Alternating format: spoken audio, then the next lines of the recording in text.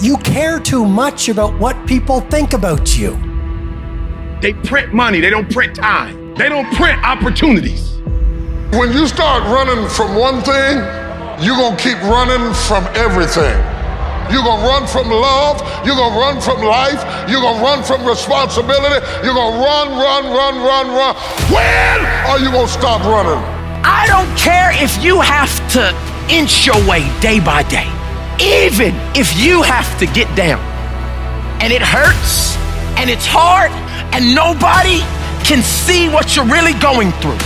If you don't quit, the pit will become your platform. You can't read somebody else's book about some theory on how to do. Some guy who sat up in a nice warm office and wrote some book with a nice cup of coffee in the hand. No, I want to see that guy who immersed himself in fucking hell. And he thought about quitting and leaving and his wife and his kids and why am I here? Is it worth it? All this crazy shit and found out a way to get through it. Anything you focus your mind on, you can change. You don't like the way your life is going, you're the only one who can change it.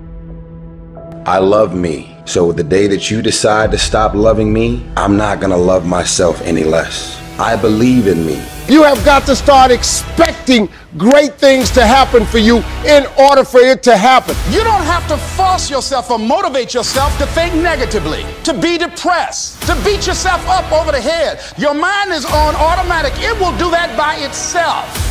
But if you want to begin to move into your own personal greatness, if you want to begin to really enjoy a happy, successful, healthy life, you've got to be willing to go against the tide. You've got to be willing to harness your will and say, in spite of this, I'm in control here.